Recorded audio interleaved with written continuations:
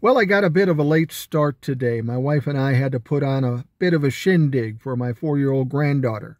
It's her birthday, and uh, we had a big old party cake, ice cream, presents, swimming, all kinds of stuff. We had a great time, and you have to have priorities. And frankly, when it comes to Donald Trump, politics, and even TikTok, my granddaughter takes priority over all of it. So, nonetheless, I'm back. And yesterday we had the correspondence dinner in Washington, D.C.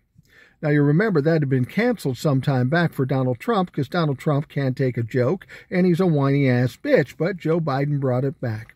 And it was hilarious. They spent most of the time tearing a new asshole for Donald Trump. And Donald Trump was certainly probably upset about it. Now, even Joe Biden got ribbed, but he's a big boy wearing big boy pants and he can fucking handle it. Now, Donald Trump is known for saying, Well, if you hit me, I'll hit you back harder. Well, he responded to this correspondence dinner, but all he said was, It wasn't very good. Colin Jost was terrible.